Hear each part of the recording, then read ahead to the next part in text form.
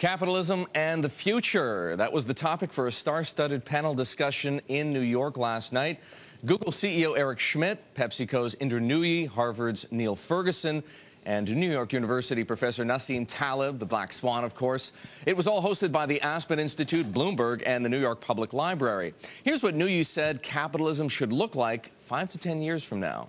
The days where companies could just do what they did and then government was left to pick up the pieces, those days are gone. I think the future of capitalism is honest partnerships between public and private, between governments and corporations.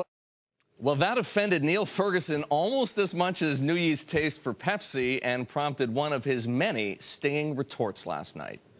We have a very cozy partnership already right now in this country between one major corporation and the government. The corporation is, of course, Goldman Sachs, and its relationship with the government increasingly makes me feel like a Marxist-Leninist.